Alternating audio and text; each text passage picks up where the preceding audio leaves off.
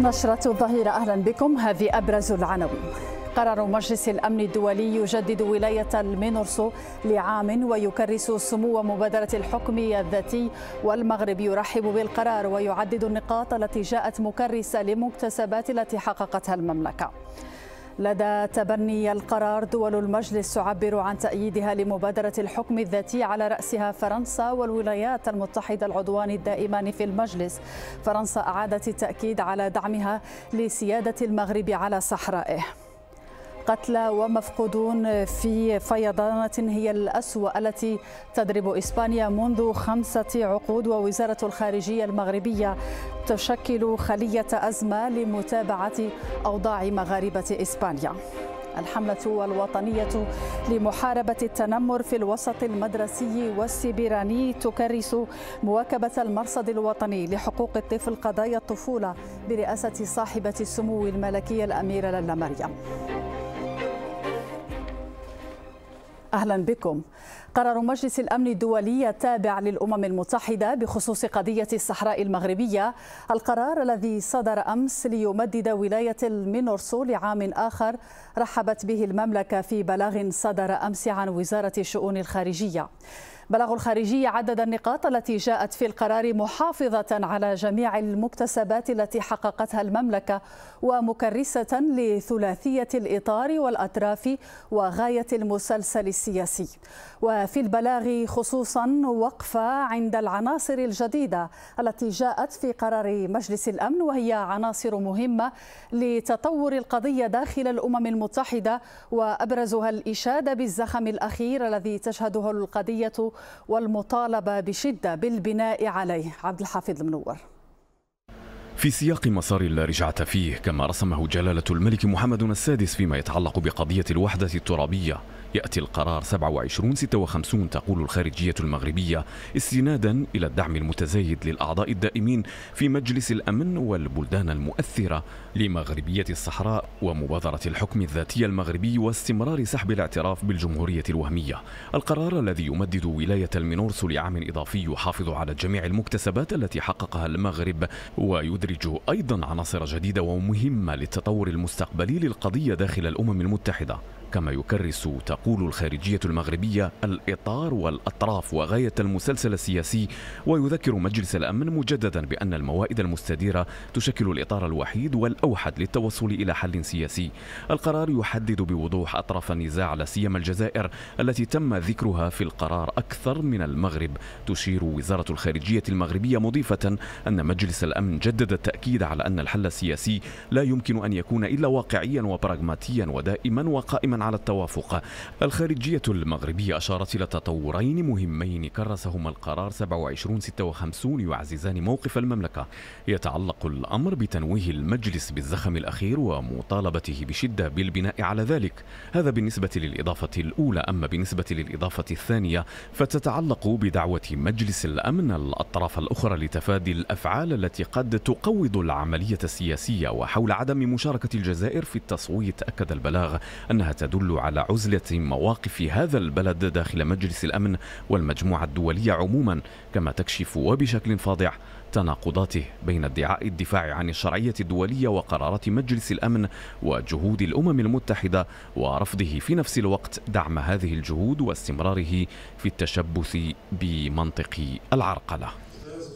قرار مجلس الأمن الدولي جدد إذن ولاية المينورسو لعام إلى غاية الحادي والثلاثين أكتوبر 2025 وفي مقابل تكريسه سمو المبادرة المغربية للحكم الذاتي شكل القرار انتكاسة جديدة للجزائر برفض المجلس.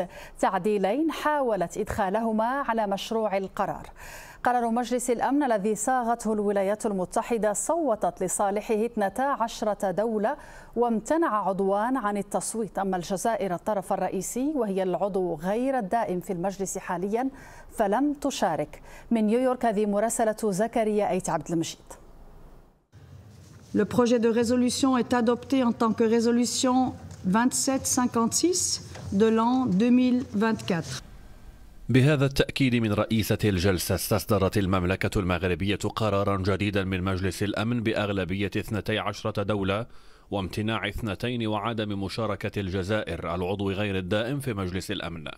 القرار لم يشذ عن قاعدة القرارات السابقة المشيدة بالمبادرة المغربية للحكم الذاتي مع تحديد الإطار وأطراف هذا النزاع المفتعل وغاية المسلسل السياسي. الدرس الذي يجب أن نأخذه على هذا التصويت هو هزيمة شنعاء للجزائر فيما يخص مقترحاتها لتغيير مشروع القرار وخلق آلية لحقوق الإنسان وفرض زيارة ديال المندوبية السامية لحقوق الإنسان للصحراء المغربية. طبعا آه، آه، الأعضاء رفضوا هذا الاقتراحين. القرار 27 56 تبنى لأول مرة موقفا واضحا وصريحا بخصوص العملية السياسية التي اعتبر أن نجاحها رهين بمدى احترام وقف إطلاق النار من قبل جميع الأطراف. وهذا طبعا انتصار المغرب لأن منذ أن خرقت قررت آه، الشرذمه ديال البوليزاريو أن تخرج من آه، وقف إطلاق النار إحنا دائما كنا ننادي. ما لا يمكن أن يعني نقبل أن مجموعة مسلحة تتكلم على السلم وفي نفس الوقت تتكلم على الحرب. مرة أخرى وكما كان متوقعا ورغم كل المناورات صوت مجلس الأمن بغالبية أعضائه على قرار جديد بخصوص قضية الصحراء المغربية.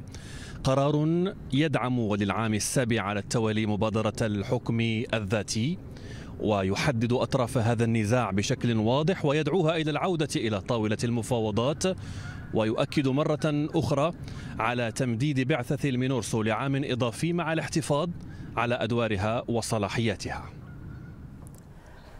من بين أبرز الفاعلين والمصوتين على قرار مجلس الأمن الولايات المتحدة وفرنسا وهما العضوان الدائمان اللذان بات موقفهما من مغربية الصحراء واضحا لا لبس فيه. الولايات المتحدة التي اعترفت بسيادة المغرب على كامل صحرائه عام 2020 جددت أمس بمجلس الأمن التأكيد على دعمها لمخطط الحكم الذاتي. وفرنسا التي عبرت عن موقف يشدد على أن حاضر ومستقبل الصحراء يندرجان في إطار السيادة المغربية أعادت أمس التأكيد على ذلك وعلى أن الوقت قد حان للمضي قدما وعلى أن الحل السياسي موجود وفي المتناول إذ اعتبرت المبادرة المغربية الأساس الوحيد لهذا الحل. يونس رفيق.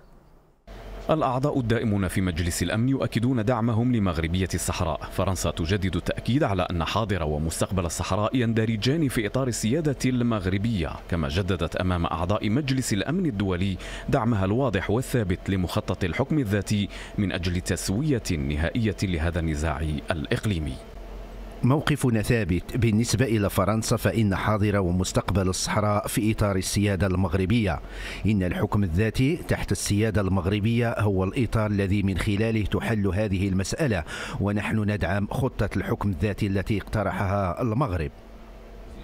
من جانبها الولايات المتحدة تجدد التأكيد على دعمها للمخطط المغربي للحكم الذاتي واصفة إياه بالحل الجاد وذي المصداقية والواقعي. الوزير بلينكن أكد على أن مقترح الحكم الذاتي الذي قدمه المغرب هو مقترح جاد وذو مصداقية وواقعي. يمكن أن يلبي تطلعات ساكنة الصحراء. وهنا المجلس يرحب بالزخم الأخير ويحث الجميع على الانطلاق منه. وبالمقاربة الواقعية وذات المصداقية وصف ممثل سيراليون بمجلس الأمن مبادرة الحكم الذاتية التي قدمها المغرب منذ 2007 هذا التصويت يشير أيضا إلى دعمنا الكبير لمبادرة الحكم الذاتي المغربية وهي مقاربة واقعية وذات مصداقية للمضي قدما بالعملية منذ تقديم المبادرة سنة 2007 يذكر أن الهيئة التنفيذية للأمم المتحدة جددت في القرار 2756 تأكيد دعمها للمبادرة المغربية للحكم الذاتي التي قدمتها المملكة سنة 2007 باعتبارها أساسا جادا وذا مصداقية من شأنه طي النزاع المفتعل حول الصحراء المغربية. لتسليط مزيد من الضوء على قرار مجلس الأمن الدولي بخصوص النزاع المفتعل حول الصحراء المغربية. ينضم إلينا مباشرة على الهواء من مراكش السيد إدريس الجريني أستاذ العلاقات الدولية بجامعة القاضي عياد. أهلا وسهلا بك سيد جريني لكل حدث سياق وسياق قرار مجلس الأمن الدولي ضمن في القرار نفسه ألا وهو الزخم الأخير الذي يشهده ملف الصحراء المغربية. بل إن المجلس طالب بالبناء على هذا الزخم. هذا أهم عنصر من العناصر التي ستؤطر التطورات المستقبلية لقضية الصحراء المغربية داخل الأمم المتحدة؟ فعلا يعني إذا استحضرنا طبعا السياق الذي يأتي فيه هذا القرار وطبعا الأمر يتعلق بقرار صادر عن مجلس الأمن. وهو الجهاز الرئيسي للأمم المتحدة أو الجهاز التنفيذي للأمم المتحدة وهو المعني يعني والمسؤول عن تدبير هذا الملف. وطبعا يعني قراراته تعتبر مرجعية وأساسية في هذا الخصوص وهي تقطع الطريق على كل طبعا من يحاول أن يشوش على مسار هذه القضية. طبعا هو جاء في سياق اقليمي ودولي متميز على اعتبار أن هناك الكثير من الدول التي عبرت عن ترحيبها بمشروع الحكم الذاتي. بل ودعمها المباشر لقضية الصحراء المغربية. نستحضر هنا طبعا يعني الموقف الأخير لفرنسا وهو موقف واضح وموقف حقيقة يمثل يعني حقيقة خطوة مهمة جدا فيما يتعلق بتعزيز مسار هذا الملف على اعتبار أن فرنسا بطبيعة الحال عضو دائم داخل مجلس الأمن هذا الجهاز. وأيضا باعتبار ان الأمر ينضم أو أن هذا الموقف ينضم إلى الموقف الثابت للولايات المتحدة الأمريكية السابق فيما يتعلق بهذا الموضوع إضافة طبعا إلى مواقف أخرى إسبانيا بلدان إسكندنافيا في العديد من البلدان الإفريقية في أمريكا اللاتينية في بلدان هناك بلدان عربية وصل الأمر إلى حد فتح قنصليات بالأقاليم الجنوبية. وهذه أعتقد بأنها إشارات من المجتمع الدولي كان من اللازم أن يلتقطها مجلس الأمن. باعتبار مجلس الأمن هو يعني ليس بعيدا عن الواقع الدولي وهو جهاز طبعا سياسي من المفترض أن يستحضر كل هذه التحولات. وبالتالي فتاكيده على استحضار هذا الزخم والبناء عليه فيه إشارة إلى أن مجلس الأمن كجهاز كما قلت يعني رئيسي للأمم المتحدة جهاز طبعا يعني يدبر هذا الملف يدعو إلى بناء أو إلى استحضار كل هذه المستجدات وكل هذه الوقائع لبناء حل مستدام عليها خصوصا وأن المغرب سبق كما قلت وأن يعني في في في مناسبات سابقة وتم التأكيد على هذا يعني من قبل المغرب في كثير من الأحيان وهو أن المغرب طرح مشروعا يتعلق بمشروع الحكم الذاتي. هذا المشروع الذي يمثل مشروع الحكم الذاتي هذا نعم. سيد القريني يعني ضمن هذا الزخم الذي تحدثت عنه والذي تابعناه جميعا أشرت بالتأكيد إلى الموقف الفرنسي وهو موقف بوزن كبير باعتبار أيضا إلى جانب كونها بلد دائمة العضوية داخل مجلس الأمن الدولي. هي دولة أيضا لها علاقة تاريخية بهذا النزاع وتعرف تفاصيله الدقيقة أن تشدد فرنسا على أن مخطط الحكم الذاتي حل وحيد يكرس سمو المبادرة المغربية بل أكثر من ذلك يخرج ربما بصفة لا رجع فيها أي تصور آخر للحل من الدائرة. اولا كما قلت بأن المغرب طبعا هو لا يدافع يعني من من فراغ. طبعا هناك مشروع واعد مشروع ينسجم مع قرارات مجلس الأمن وخصوصا وأن القرار الأخير وغيره من القرارات أكدت على الخطوات التي طرحها المغرب في هذا الخصوص وهي تتسم بالجدية. وطبعا التأكيد على أهمية مشروع الحكم الذاتي من قبل يعني الكثير من دول العالم فيه ثقة في هذا المشروع وفي مقتضيات هذا المشروع التي تحقق أو يعني تقدم أو أو أو تطرح أمام الساكنة إمكانيات واعدة على مستوى تدبير شؤونها بصورة ديمقراطية وعلى مستوى استثمار إمكانياتها المجالية خدمة للتنمية بهذه الأقاليم. وأعتقد بأن المجتمع الدولي واثق كذلك من جدية المغرب في هذا الخصوص وواثق كذلك بأن هذا المشروع كما هو الشأن بالنسبة لعدد من الدول التي دبرت تنوعها وتجاوزت إشكالاتها المجالية من خلال هذه وكذلك تدبير آه، أو أو أو اعتماد ما يسمى بالديمقراطية الترابية أو المحلية في تدبير طيب شؤونها. اذا آه، سمحت نعم. بعجاله آه، لا, نص... لا يمكن أن نمر مرورا سريعا على تركيبة التصويت على هذا القرار. 12 صوتا لصالح قرار مجلس الأمن امتناع بلدين وعدم مشاركة الجزائر التي تشغل حاليا مقعد عضو غير دائم في المجلس وهي الطرف الرئيسي في النزاع. بل تم ذكرها في القرار أكثر من المغرب. يلخص ذلك وضع هذا الطرف وهو ربما وضع لا يحسد عليه أكيد. قلت بأنه استمرار لما لما ذكرت. طبعا ان ان اليوم الجزائر بطبيعة الحال تجد نفسها معزولة ورغم أنها تؤكد بأنها غير معنية بالملف.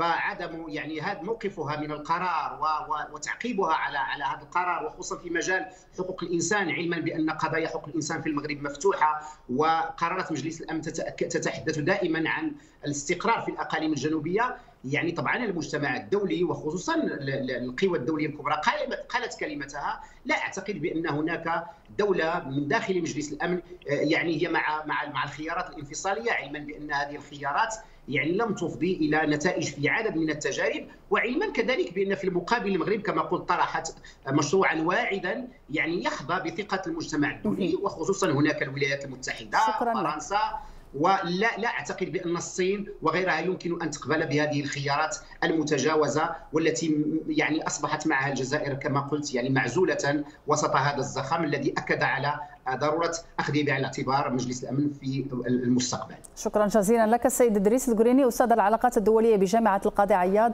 كنت مباشرة معنا عبر تقنية سكايب من مراكش.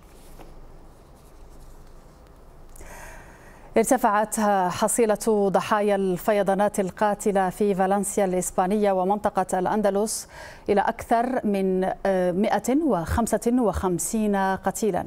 وحث رئيس الوزراء الإسباني بيدرو شانسيج أمس المواطنين المتواجدين في المناطق المتضررة على البقاء داخل منازلهم مؤكدا أن حالة الطوارئ لم تنتهي. مريم تركه سيارة متكدسة في الشوارع شرفتها سيول الفيضانات القاتلة التي اجتاحت جنوب شرق إسبانيا. فرق الطوارئ تواصل البحث عن المفقودين وإزالة السيارات لإخلاء الطرق. الحصيلة المؤقتة لهذه الكارثة الطبيعية ارتفعت إلى أكثر من 150 قتيل وعدد غير محدد من المفقودين. سكان المناطق المتضررة يحاولون تنظيف الشوارع وإنقاذ ما في وسعهم من منازلهم المدمرة أنا أسكن في هذا المنزل. عندما انقطع الكهرباء جراء الفيضانات. بقي عمال هذا المتجر عالقين تم إنقاذهم بصعوبة. نحن نسكن هنا سيارتنا عالقة بجوار المنازل. تم إرسال أزيد من 1200 جندي للمساعدة في عمليات الإنقاذ والإغاثة. وخلال زيارته لفالنسيا دعا رئيس الوزراء بيدرو سانشيز سكان المنطقة إلى عدم مغادرة منازلهم. مؤكدا أن موجة الطقس السيء لم تنتهي بعد. فيما أكد رئيس منطقة فالنسيا أن أجهزة الطوارئ تمكنت من الوصول إلى كل المناطق المتضررة. وأعلنت وزارة النقل تعليق حركة القطارات الفائقة السرعة بين مدريد وفالنسيا وتوقف نشاط وسائل النقل بالمنطقة على الأقل أسبوعين إلى ثلاثة أسابيع. وعلى إثر هذه الفيضانات وزارة الشؤون الخارجية والتعاون الإفريقي المغاربه والمغاربة المقيمين بالخارج أعلنت أنها معبأة من خلال خلية الأزمة المركزية وكذا المصالح القنصلية بالمناطق الإسبانية المتضررة من الفيضانات من أجل تقديم المساعدة للمغاربة المقيمين بهذه المناطق. وتم وضع أرقام هاتفية للاستعلام وهي الأرقام الظاهرة على الشاشة.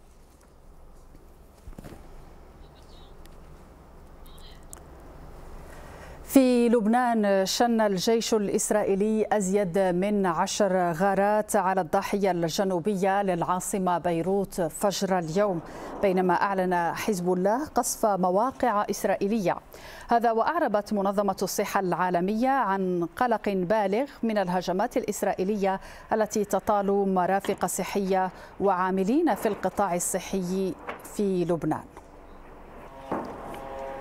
وفي جديد تطورات العدوان الإسرائيلي المتواصل على قطاع غزة منذ أكثر من عام استشهد عشرات الفلسطينيين منذ فجر اليوم إثر غارات إسرائيلية استهدفت على الخصوص المناطق الواقعة في وسط القطاع. في النشرة أيضا منذ 30 عاما أي منذ العام 1994 حين أحدث المرصد الوطني لحقوق الطفل يلتزم المرصد تحت رئاسة صاحبة السمو الملكية الأميرة للا مريم بالعمل على صيانة حقوق الطفل وضمان تطبيق الاتفاقية الدولية لهذه الحقوق. طيلة 30 عام يواكب المرصد ما استجد من ظواهر وقضايا ترتبط بهذه الحقوق. وضمن هذه المواكبة والمسايرة أطلق المرصد بإشراف إشراف من صاحبة السمو الملكية الأميرة لالا مريم رفقة حرم الرئيس الفرنسي بريجيت ماكرون حملة وطنية لمحاربة التنمر في الوسط المدرسي والتنمر السيبراني تجسد الحملة وعي المملكة بخطورة هذه الظاهرة المقلقة عالميا والتي تتطلب التزاما. حسن بن رابح تتواصل حملة محاربة التنمر في الوسط المدرسي والتنمر السبراني أنشطتها الثرية والتي أطلقها المرصد الوطني لحقوق الطفل الذي تترأسه صاحبة السمو الملكي الأميرة لالا مريم. وبحضور السيدة بريجيت ماكرون تم قص شريط الحملة رسميا والكشف عن خطوطها العريضة تحت شعار لنعمل معا وهو ما يؤكد التزام المملكة على حماية أطفال من هذه الآفة العالمية. في هذا الصدد تم تصميم وتطوير تطبيق اتحاد الهادف إلى مكافحة التنمر والوقاية منه في الوسط المدرسي وإطلاق برنامج تكويني على مدى ثلاث سنوات لمكافحة الظاهرة بالتعاون مع وزارة التربية الوطنية والتعليم الأولي والرياضة. في غضون هذه السنة تم تكوين أزيد من 875 مهنيا لهم علاقة بالأطفال من مختلف الوزارات و105 مهني متخصص في الصحة النفسية لهذه الفئة الاجتماعية. تكاوين ستتواصل على مدى ثلاث سنوات المقبلة فيما في سنة 2026 سيتم تعزيز هذا البرنامج على جميع الإعداديات بالمغرب. لتسليط مزيد من الضوء على هذه الحملة الوطنية تحضر معنا في الأستوديو الزميلة سعاد زعتراوي. أهلا بك سعاد. أهلا لو نعرف أولا بالعنف المدرسي أو بالتنمر المدرسي وتنمر السبيراني وأهم الآليات التي وضعتها هذه الحملة الوطنية للوقوف في وجه هذه الظاهرة. زهرة تبقى ظاهرة التنمر المدرسي ظاهرة مقلقة جدا وهي ظاهرة عالمية. لنعمل معا. شعار الحملة الوطنية التي أشرفت صاحبة السمو الملكي الأميرة لالا مريم رئيسة المرصد الوطني لحقوق الطفل رفقة السيدة بريجيت ماكرون حرم الرئيس الفرنسي إيمانويل ماكرون أشرفت على إطلاق قبل يومين حملة تجسد هذه الحملة التي أطلقها المرصد الوطني لحقوق الطفل عزم المغرب على حماية أطفاله من التنمر المدرسي.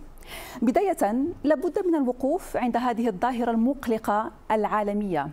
التنمر المدرسي هو نوع من أنواع العنف يحدث في المدرسة حيث يتعرض التلميذ لسلوك عنيف ومتكرر من قبل زملائه كلام جارح أو نشر إشاعات أو حتى عنف جسدي.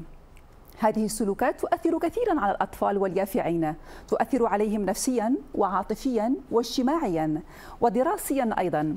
الظاهرة للأسف حاضرة في مدارسنا وهي مشكلة جادة بحيث لا يمكن التعامل معها باستسهال أو التقليل من مخاطرها.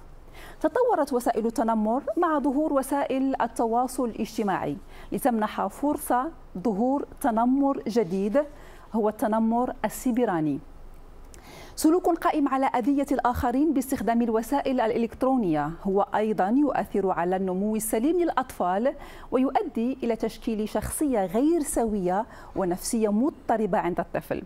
في تفاصيل الحملة التي أطلقها المرصد الوطني لحقوق الطفل العديد من الأنشطة الموازية من بينها بث كبسولة توعوية حول التنمر المدرسي في أكثر من 3700 مؤسسة تعليمية تهدف إلى مكافحة التنمر والوقاية منه. أيضا إطلاق برنامج تكويني على مدى ثلاث سنوات لمكافحة التنمر المدرسي والتنمر السيبراني بالتعاون مع وزارة التربية الوطنية والتعليم الأولي والرياضة. قام المرصد مؤخرا بتصميم وتطوير تطبيق اسمه اتحاد يهدف إلى مكافحة التنمر والوقاية منه في الوسط المدرسي. اتحاد هو مقاربة تقوم على عدم الشعور بالذنب تشمل الضحايا والمتنمرين معا لحل هذه المعضلة. ومن أهم الآليات التي ذكرتها سعاد ضمن هذه الحملة الإنصات. أولا الإنصات للضحايا. الإنصات أول خطوة لمحاربة الظاهرة زهرة. يعتمد المرصد في محاربة ظاهرة التنمر على آليات فعالة. من أهمها إحداث مركز الاستماع هو الأول من نوعه في المغرب وإفريقيا. يمكن التواصل مع هذا المركز عبر رقم أخضر مخصص للتبليغ عن حالات الأطفال ضحايا العنف. خلال الاتصال بهذا الرقم يمكن للطفل الإفصاح عما تعرض له وخلية الاستماع تتدخل بشكل مستعجل للمتابعة النفسية والقانونية عبر محامين تابعين للمرصد الوطني وعددهم 100 محامي في كل تراب المملكة. مع مرور سنوات تعززت هذه الآلية لتصبح منصة حقيقية للاستماع والتدخل طارئ. تضم مختصين في الصحة النفسية وأطباء ومحامين منخرطين في هذا المجال. تم تكوينهم من طرف المرصد الوطني. الصحة النفسية للأطفال على رأس أولويات المركز أو المرصد تعالج بكل الاستعجالية الممكنة. خير دليل على ذلك عندما اهتزت الأرض بإقليم الحوز أدت إلى نوبات الهلع والإحساس بعدم الأمان فكان لابد من رفع أنقاض الخوف عن نفسية الأطفال. في مقدمة الفرق الطبية التي حجت إلى إقليم الحوز متخصصون نفسانيون تابعون للمرصد من أجل تتبع الحالة النفسية للأطفال. وبالعودة إلى موضوع التنمر وفي إطار خططه الاستباقية وضع المرصد الوطني لحقوق الطفل برنامجا وقائيا هاما يضم محورين يستهدف فئتين رئيسيتين. اولا الأمهات.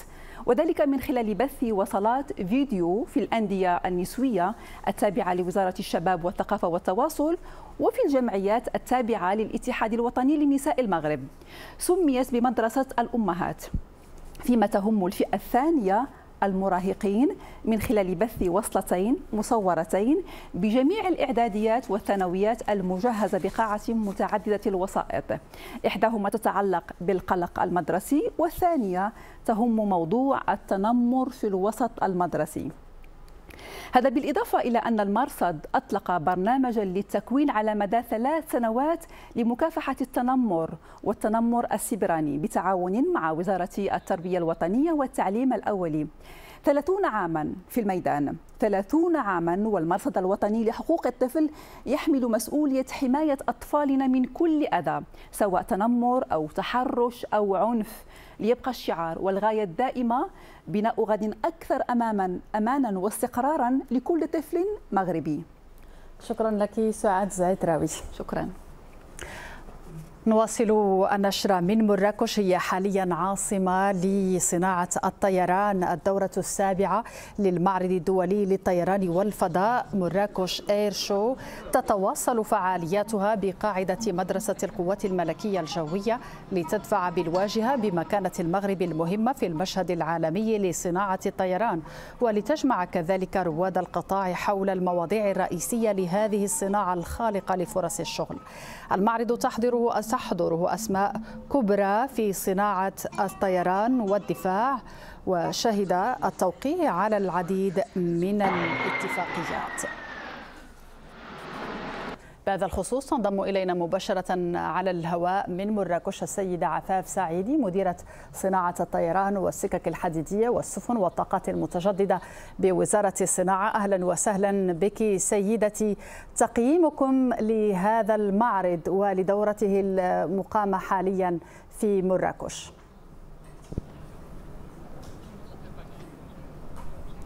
نعم سيدتي اليوم هو اليوم الثالث للدورة السابعة لمعرض مراكش دولي للطيران آه، اللي تنظم تحت الرعاية السامية لصاحب جلالة نصر الله. هذه الدورة عرفت واحد الإقبال باهر آه، ونجاح كبير الحمد لله بمشاركة آه، أكثر من 75 وفد رسمي 19 21 دولة مشاركة وكذلك أكثر من 200 عارض اللي تعرضوا أحدث التكنولوجيات والابتكارات في عالم الطيران بين هاد العارضين كبار مغريات الشركات العالمية. عرف هاد عرفت هذه الدورة كذلك عروض جوية استثنائية ولقاءات وندوات لمناقشة التحديات التي عرفها قطاع صناعة الطيران والتوجهات الجديدة لهذا القطاع.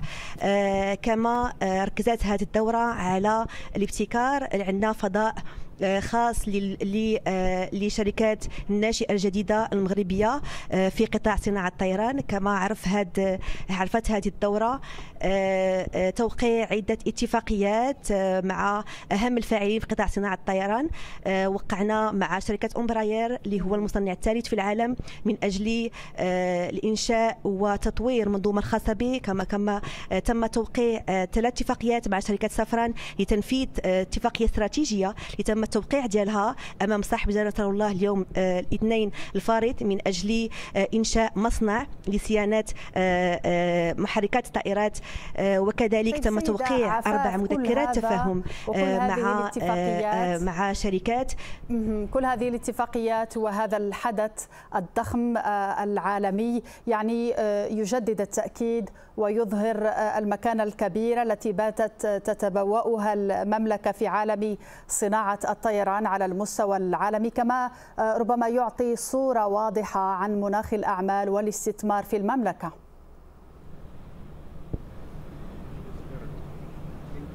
نعم سيدتي عرف المغرب في آه، ظرف أقل من 25 سنة من العمل المتواصل آه، من إنشاء قاعدة صناعية آه، بمواصفات عالمية وجاذبية كبيرة. الحمد لله المغرب اصبح رائد عالمي اللي عنده بصمه وتيتمركز في هذه الصناعة التكنولوجية المتقدمة. من بين هاد من بين العوامل اللي خلات هذه القاعدة الصناعية توصل لهذا المستوى اللي هو فيه. اولا وجود سياسات متتالية تحت الرعايه الصاميه صاحب جلاله الله وكذلك آه، عرفنا نشتغلوا جميع القطاع العام والقطاع الخاص آه، وجود بنية تحتية ويزيد مناخ ملائم للاستثمار والأعمال. والعامل المهم كذلك هو وجود الطاقات البشرية اللي الحمد لله تنفتخروا بهم اللي تتكونوا في لك. أهم المعاهد للتكوين. شكرا لك السيده عفاف سعيدي مديرة صناعة الطيران والسكك الحديدية والسفن والطاقة المتجددة بوزارة الصناعة. كنت مباشرة معنا من مراكش. بهذا نختم نشرة ظهيرة وفي ختامها هذا تذكير بأبرز ما جاء فيها. قرار مجلس الأمن الدولي يجدد ولاية بعثة المينورسو لعام ويكرس سمو مبادرة الحكم الذاتي والمغرب يرحب بالقرار ويعدد النقاط التي جاءت مكرسة للمكتسبات التي حققتها المملكة. لدى تبني القرار دول المجلس تعبر عن تأييدها لمبادرة الحكم الذاتي على رأسها فرنسا والولايات المتحدة العضوان الدائمان في المجلس. وفرنسا تعيد التأكيد على دعمها لسيادة المغرب على صحرائه. لإعادة مشاهدة نشرة ولمزيد من الأخبار تفضلوا بزيارة موقعنا دوزيم ام أو تطبيق ماي دوزيم شكرا على المتابعة. إلى اللقاء.